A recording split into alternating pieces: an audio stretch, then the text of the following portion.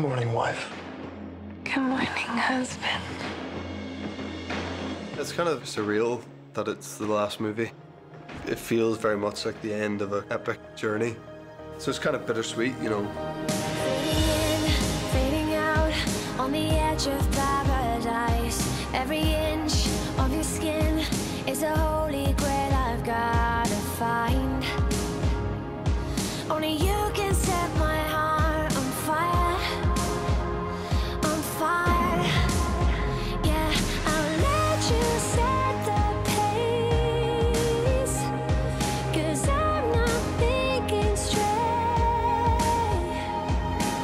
get on really well. It wouldn't be Dakota and I sitting here today if we didn't have a chemistry and if we didn't have something that works. The reason why we have a special relationship on screen is because we have an even more special relationship off screen. I can't imagine I mean, going through this with, with anyone else. It's been a real journey and I loved it.